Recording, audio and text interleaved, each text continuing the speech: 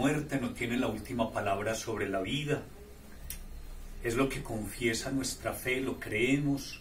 Nuestro natural siente el dolor de la partida de los seres queridos, concretamente de nuestro hermano Juan Carlos Mosquera, que ha partido para el cielo, pero la esperanza y la certeza de la resurrección nos acompañan. Juan Carlos fue nuestro hermano, con quien soñamos el sueño de Dios y con quien logramos construir muchas ciudades de Dios. Entregó su vida en amor, en servicio, en donación total y le creyó a Dios. Y por eso hoy lo acogió en su casa y hoy queremos darle nuestro último adiós antes de encontrarnos un día allá en la casa del Padre todos juntos para celebrar el don de la vida, de la resurrección para siempre.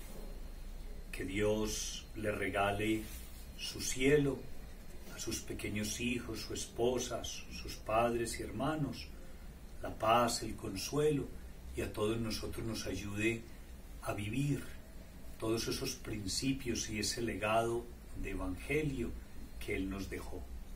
Paz en su tumba, bendición en su corazón y vida plena en el Señor. Un buen día para todos.